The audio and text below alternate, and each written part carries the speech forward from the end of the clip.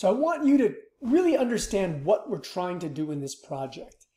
And we're really trying to answer a big question, which is why does the Earth look like this?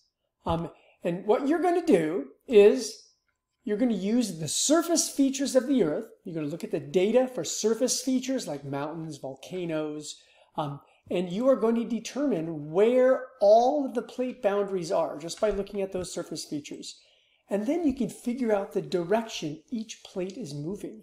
You can even then predict what the world is going to look like in 100 million years. You can do that with just a little bit of data. So how are we going to do that? So to start the project, you have to first do Notes J. You can't possibly do this project without doing Notes J. That was uh, that was in the asynchronous. So if you haven't done that, you've got to do that first. There's an ed there's a, a bunch of little videos that um, that you need to do. So do Notes J first. Um, then the, the next, the first thing to do really on the project is to review Notes J. I mean, all of the things in Notes J are super, super important. So you're going to review that by putting the plate boundaries, uh, putting the surface features, all those different surface features that you studied in the right, underneath the right uh, category down there. So we're going to have evidence of divergent boundaries, basically what surface features would tell us that we have a divergent boundary, and then what surface features tell us we have uh, evidence of a convergent boundary. You're just listing, you're not explaining anything. You're just going to put, right, volcanoes, uh, island arc, trench, mid-oceanic ridge, things like that. Okay, then we're going to, first, we can easily determine where the boundaries are.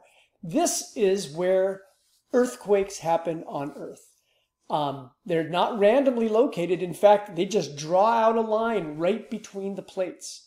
So understand, though, that the thickness of the line does not mean that the line is any thicker. It just means that that's where there are more earthquakes. So there's a lot of earthquakes in the middle here, but there's a lot more earthquakes over here by, by China and Japan. Um, but you're going to take all these lines and you're just going to transfer them to your map as best as you can. Just draw single lines wherever you think the plates are. Where the plate, where the where the plate boundaries are, um, there where there are lots of earthquakes. So don't ignore. That's a little that's a little circle there. It looks like there's that's a plate right there. You're gonna draw all these lines on your map. Connect the dots. Connect the dots. It looks like something's going on here.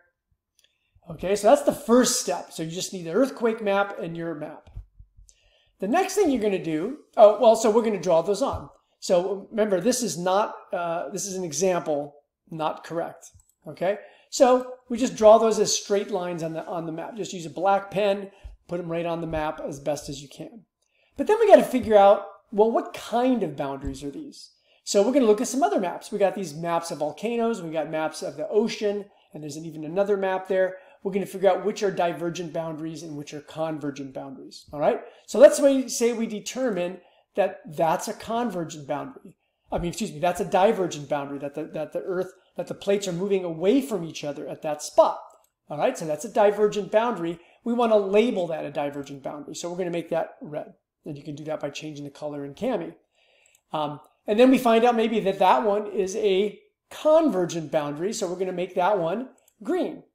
So we're going to do that to as many of the boundaries as we can. Um, some of them are difficult. Some of them we don't quite know yet. So you can do as best as you can. But then what we're going to do is if this plate here is moving away from each that red, and over here it's moving toward the green, well, what is this whole plate doing by itself? It's moving in one direction. That's the next thing we want to do is we want to create an arrow that shows the direction of that plate. So if these boundaries were correct, I can say that this whole plate is moving to the right.